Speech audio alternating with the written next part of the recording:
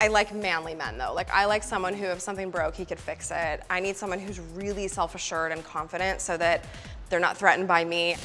Well, Kristin Cavallari's found herself a man, and she couldn't be more excited to show him off. It's just been all the things. I'm, I'm really having a good time.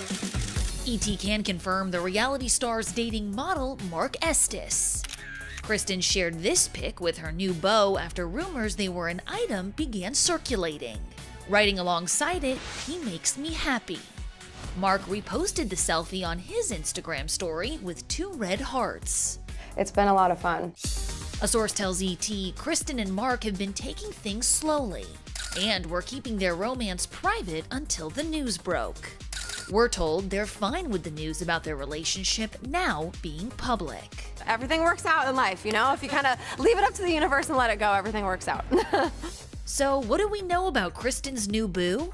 Well, he's 24 years old, which makes him 13 years younger than the Laguna Beach alum. I don't know, I'm enjoying my life.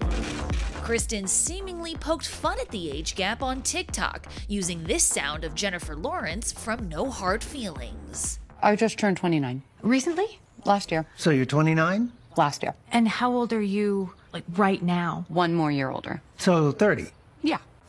And according to Instagram, Mark appears to be Nashville based, where Kristin currently lives. I really love Nashville. I really do. It's a very slow paced, quiet, normal life, and I love that. He's also a former football player at Montana State University.